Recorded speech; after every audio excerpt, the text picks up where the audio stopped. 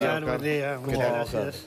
Bueno, empezamos hablando del vicepresidente Raúl Sendic, eh, tanto de la gestión de ANCAP como también su título, su cuestionado título de licenciado. Bueno, ¿A qué la- conclusiones se llegó? Bueno, no, la conclusión es que es eh, muy abrumadora la, la- la- la posición de la gente, de la sociedad, de tener una visión muy negativa, incluso eh, negativa entre los frente amplistas, sobre la gestión de ANCAP. En los frente amplistas una relación, digamos, de 5 a 3, ¿m? de considerarla mala contra los que la consideran buena. Y en la sociedad, bueno, el, más del 70% consideran que fue mala la gestión de ANCAP. Ahí está la gráfica, es impresionante, Oscar. Sí. Sí, sí, la, la- la gráfica es impresionante. Y solo uno de cada diez considera que fue bueno o muy bueno, ¿no? Eh, claro, buena, muy buena es el, el- el 9%, eh, mala, muy mala el 72%. Bueno, después sí, hay una quinta parte del país que de alguna manera tiene una visión neutra, ya sea eh, ni buena ni mala, ya sea que no opine, ¿no? Ajá. Pero digo, estos son datos muy raras veces ocurre de posturas tan contundentes. Nosotros, como hicimos la encuesta simultánea de los dos temas, tenemos la impresión de que los dos temas interactuaron. Es decir, que uno reforzó el otro. Hubo coincidencias temporales, además, ¿no? Bueno, fue uno a continuación Claro, del otro eso. inmediatamente. Pero además quedó en la opinión pública. Ahí lo de la licenciatura estábamos viendo que, que Bueno, peor la- todavía, ¿no? El licenciado 77% que considera que fue mala o muy mala la, la- la actuación de él, ¿no? Y entonces eh, lo uno, eh, uno tiene la percepción de que lo del título licenciado, que fue muy mal manejado, porque, a ver, yo el otro día estaba viendo por décima vez el discurso del rey y hay una escena muy interesante en que salta que el Lionel Log, el, el terapeuta de la obra, no tenía ningún título. Pero él sale rápidamente el tema, no, yo nunca dije que era doctor. Sí, pero no decías que no, decías call me Lionel, ¿no? Ajá. Pero sale rápidamente y, y- y- y- y levanta el tema, pero nadie puede discutir mi, mi experiencia y los resultados que obtengo. Bueno, acá el tema que hasta el día de hoy todavía no, no- no- salió. Sigue sin salir del tema. Yo creo que lo, lo peor fue, uno, que la gente lo vivió como un engaño, y segundo, de, de- de un hombre que ocupa un lugar tan alto que no sabe salir de un enredo de esta naturaleza. Oscar. Y esto, de alguna manera, afecta también Claro. la visión sobre ANCAP. Ajá, Eh, claro. Y lo de ANCAP, a su vez, potenció lo del título. Si fueron dos cosas que, separadas, capaz que daban resultados un poco más amortiguados. ¿Y esto cuánto impacta en, en las posibles aspiraciones presidenciales de Sendic y en su figura como la cara de renovación del Frente Amplio, que un poco hasta ahora estaba presentado así, ¿no? Con la candidatura a vicepresidente, la buena elección que había hecho en la interna. Bueno, un expresidente de la República decía que en Uruguay, en política uruguaya nunca hay muertos, hay heridos leves y heridos graves. Hecho esa consideración, creo que sí, que es un herido grave, que hoy, en los datos de hoy, obviamente está fuera ¿eh? de cualquier carrera presidencial. Estamos hablando el eh, abril del año 2016. Sí, La- claro. Falta. Te quedan tres años para las elecciones internas. En materia de renovación, eh, primero, el- el- el- el- hay que ver cuánto la gente quiere y cuánto no renovación, porque en última instancia, desde hace mucho tiempo, este, yo me acuerdo cuando surgió Rafael Michelini en el 94, que la gente decía, son siempre los mismos. Le decía, no, pero mira, está Michelini. Ah, es muy nuevo. Es decir, la gente en general quiere siempre a alguien que sea joven, nuevo, con mucha experiencia y, y- y mucho expertise en la realización. Bueno, Bravo. no. Ahora, están apareciendo algunas figuras nuevas, hay que ver cuánto da, el caso de, de- de Alejandro Sánchez, eh, Pacha Sánchez en el MPP, el caso de Gonzalo Civil en los socialistas, el caso de, bueno, ya de una generación mayor, pero de, de Maía en, en Asamblea Uruguay, este, es decir, el, el- bueno, Macarena Hellman, es decir, hay, hay un, un- un- un conjunto de nombres y otros más que pudieran surgir. Está ahora la candidatura Javier Miranda, Miranda. a la Sí. presidencia de- del Frente Amplio como una figura nueva también de recambio. Es decir, los recambios ocurren cuando son necesarios y los recambios ocurren cuando este, a veces no es, no es tanto que haya figuras, sino que haya el agujero para que se produzca, el, se ha llenado con un recambio. ¿no? No suelen dejarse los agujeros en Uruguay. No, pero, pero se producen, eh, la gente los produce. ¿no? Naturalmente, La, claro. la- la gente los produce naturalmente y lo hemos visto. Caso más notorio fue el Partido Colorado. do- dos liderazgos de una potencia impresionante y un buen día no hubo ese agujero y cae todo el Partido Colorado. Claro. ¿no? Sí. Oscar, la otra encuesta que fue muy llamativa la cifra, ¿no? Es la, la caída en la intención de voto del Frente Amplio a un 35%, ¿no? A niveles del casi 20 años para atrás. ¿Cómo se Sí, el, interpreta el- eso? el tema es el siguiente. Primero mm, hay, hay que hacer una aclaración. Eh, no nos olvidemos que el Frente Amplio fue cambiando su configuración, eh, su arquitectura. Primero fue Frente Amplio solo, después Encuentro Progresista Frente Amplio, después Encuentro Progresista eh, Frente Amplio Nueva Mayoría. Y después para Al atrás. sumarse al nuevo espacio, después simplificó de vuelta a nuevo espacio. Veinte años atrás lo que existía era el Encuentro Progresista de un lado y el nuevo espacio de otro, que hoy son lo mismo. Sí. Cuando hacemos la serie para atrás juntamos todo. El, el paquete que hoy es el Frente Amplio. Claro. Ese paquete estaba en torno al 35%, puntito más, uno menos, no importa, hace 20 años, ¿eh? groseramente por el 96.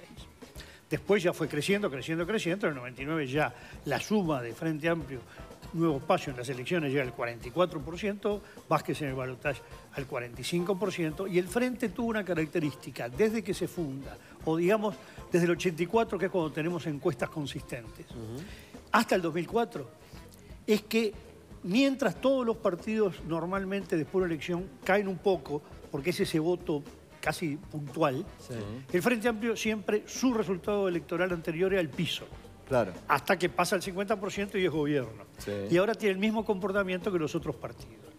Pero ¿qué es lo que ocurre? Vemos Partido Nacional. Partido Nacional cayó 5 puntos. Lo normal es 4, 5 Ah. no está mal. El Frente Amplio cae 13. Entonces, esto es caída. ¿Eh? No, no es este, el movimiento normal de un periodo, como llamamos, interelectoral. ¿eh? Que no le pasaba al frente hasta ahora tampoco. No, el Frente le- le- ah, tuvo el periodo pasado, es decir, el gobierno va desgastando. Sí, claro. No nos olvidemos que el Frente Amplio sacó el 50%, 50 y medio en el 2004. Tiene una ventaja en el recambio generacional que gana casi dos puntos por elección, ¿eh? porque los que se mueren dos tercios en blanco y colorado, los nuevos votantes tienden a ser frente Am- tendrían, tendi- tendían a ser frente amplista. ¿Ese empezó a cambiar también?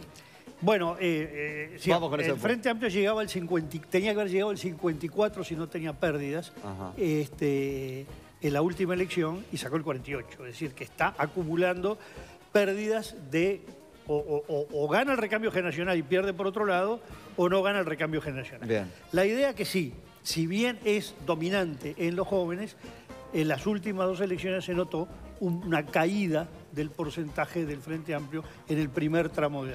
Ah, Ahora, eh, más allá del recambio que se puede dar y el desgaste de la fuerza política en sí misma ejerciendo el gobierno, ¿puede que haya un factor de cansancio en la población, en los electores, eh, después de varios gobiernos consecutivos? Bueno, yo creía que el fenómeno es un poco mayor. Creo que hay un fenómeno de descreimiento, de desilusión, y que es muy claro, pues nosotros, esta misma encuesta que no la, no, no- no la publicamos, pues la- nosotros hacemos esto cada tres meses, lo que pasa es que la mayoría se hace para las consultorías internas, en diciembre nos da 42 el frente. Es decir, que de 42 a 35, eh, todos los márgenes de error de encuesta, eh, Sí, no sí. votos, No intención entran, de votos, claro. lo que quiera, pero de 42 a 35, caída muy grande. algo hay, ¿no? Y lo que hubo fue todo lo vinculado al tema ANCAP, al tema SENDIC, pero no solo a SENDIC, a, a cómo reaccionó el frente. Sí, sí, sí. El- la respuesta el- política de- La respuesta política, el informe del Senado no gustó. ¿eh? Ese frente amplio que arriba y vamos, acá es la unidad y lo más importante es la unidad y la gente decía, no, no, lo más importante es lo que pasó en ANCAP. Claro. Y, ¿no? y el plenario con lo de Y el plenario que hoy es una, una declaración muy fantasma, porque han desaparecido todos los autores. ¿no? Nadie dice, yo fui el que la hice. No, se nos fue la moto, dijo este Alejandro Sánchez. Eh, Javier Miranda fue durísimo con la Ah. declaración. Y, y efectivamente, esta fue la reacción de la gente. Como que el Frente Amplio entró en una lógica interna de esas de, de internismo que se puede traer en la vida privada también, o en cualquier actividad, que, este, que uno se enrosca Claro. y en determinado momento empieza a ver de afuera que dijeron, oíme, te, te zarpaste, ¿no? Y, y- y esta es la reacción de la gente. Ese- Este 35% es un poco decir, espere, así no va. ¿eh? Esto no, esto Ahora, no es lo que esos puntos que pierde el Frente Amplio, usted también analiza que no van para los otros partidos. Nosotros hemos usado una, invisible. una- una imagen de- del muro invisible. Ajá. Nadie Obviamente hay, pasa para el otro lado. ¿eh? Claro. No, eh, a nivel de individuos hay trasvasamiento. Lo que pasa es que uno maneja conjuntos. ¿no es Claro. t- Todo el mundo va a decir, pues yo conozco un vecino que, que era de frente, ahora vota el Partido Nacional, por supuesto. Y al revés también. Pero a nivel de conjuntos, que es lo que se mueve significativamente, lo que se ve es que la gente que se desilusiona al frente no es reencantada del otro lado. Nosotros poníamos la imagen de, de que ese muro de- invisible tiene arriba el Partido Independiente pendulante ahí arriba y, y capta un poquito de los dos lados. Algunos agarran. Claro, porque bueno, hay una a la izquierda del Partido Independiente que puede tener un puente. Lo mismo Unidad Popular, Partido Ecologista, que, que nos da la impresión, repito con mucho respeto al Partido Ecologista, que no es que esté adhiriendo a ese partido, sino que suena muy bien esa causa, y para no decir en blanco ninguno, dice, bueno, Partido Ecologista, pero es brutal lo que dice en blanco ninguno. Es decir, también del otro lado, ¿no? Este, lo que pasa es que es un poco menor el desencanto, pero existe. Claro. ¿Pero esto le permite a la oposición tener una esperanza de ganar o es casi inviable con estos números por ahora? Si bueno, fuera- con estos números es algo imposible, que los dos pierdan, ¿no? Este, Algo va a pasar en la política uruguaya, este, entonces. eh, alguien tiene que ganar. El problema es que con estos resultados... Mieres, Mieres tiene que darle así de a dos puntitos por- Estos pierden por retiro de los jugadores de la cancha. Es decir, el, el tema es el siguiente. Lo que no está bien recogido en la encuesta, porque la encuesta es muy larga, tiene muchas cosas, esta es un- una, una- una- estructura de pregunta que viene interru- ininterrumpidamente desde hace 27 años, que no está recogiendo lo que podríamos llamar el fenómeno Novik. El tema que es un fenómeno que tampoco se sabe ni cuánto da ni cómo se canaliza. ¿Qué va a pasar electoralmente en Por lo 2019? pronto, No tiene partido. No tiene un partido, el Partido de la Concertación, que sí está registrado en la Corte Electoral, ha comunicado públicamente y oficialmente que no se presenta en elecciones nacionales, por lo tanto no lo podemos medir como tal. Claro. Sí tenemos otro tipo de mediciones de cuánto podría más o menos dar Claro. Novik, etcétera, etcétera, pero hasta que no esté encuadrado diciendo es un partido propio, estar con el Partido Colorado, con el Partido Nacional, todos juntos, dos por un lado, uno por otro, hasta que no se sepa eso, es muy difícil medir. Probablemente ahí hay un espacio para que esta suma de Partido Nacional y Partido Colorado dé un poco más de lo que está dando hoy. No puede ser una alternativa para ellos. Bueno, por lo menos sube. Este, Estoy diciendo, sube lo, lo que está cayendo. El tema es que todavía lo que no se ve es que hay una alternativa real diciendo esto quiere decir que si esto cae, esto sube. Claro. Todavía la oposición tiene que construir una alternativa que no es solo un tema de candidaturas, se simplifica. El programa. Eh, Sí, pero el programa no, no, exacto, pero no en el sentido de que muchos creen que el programa es un no, precioso no, no. libro de tres tomos, sino mm, es un conjunto de valores. Cuando uno mira a un dirigente Ah, político claro. y dice, este es lo como soy yo, Es el sentirse o es lo que yo quiero Y ser. que la gente los vea como un grupo que puede gobernar en conjunto también, Sí, ¿no? Y no dividido. gobernar para el lado de cosas que a uno le gustan. Claro. Me identifico con que este me candidato y, este, identifico y esta con un propuesta. país que las cosas se hagan o se piensen o tengan los valores que esta gente está manifestando. Esto es lo mío, esto es lo que quiero hacer. A eso le podemos llamar programa, ¿eh? no, no, no librito. Sí. Eso es mucho más importante que la candidatura. La candidatura luego refleja ese programa. A veces candidaturas flojas con programas fuertes son muy exitosas y candidaturas muy fuertes, cuando son fuertes sin mucho contenido, no dan. ¿eh? Y además, ningún gobierno cae por sí mismo, cae si tiene algo que lo supere. Un mal gobierno continúa y un buen gobierno incluso, bueno, puede perder si la alternativa y, y- y la esperanza de la gente va para otro lado. Claro. Eso creo que hay que tenerlo muy claro. Oscar Clarísimo. Botinelli, muchísimas gracias no, por no, muchas gracias a ustedes. Un gusto. Amable. Momento de hacer una tanda en desayunos informales, ya se viene calidad de vida.